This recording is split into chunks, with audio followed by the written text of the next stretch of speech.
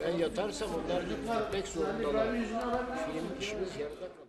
Ünlü yönetmen Memduh Ün, Muğla'nın Bodrum ilçesinde son yolculuğunu uğurlandı. Kronik böbrek ve solunum yetmezliği nedeniyle uzun süredir kaldığı yoğun bakımda 16 Ekim tarihinde hayata gözlerini yuman Memduh Ün için bugün Bodrum Adliye Camii'nde cenaze töreni düzenlendi. Allahu Ekber.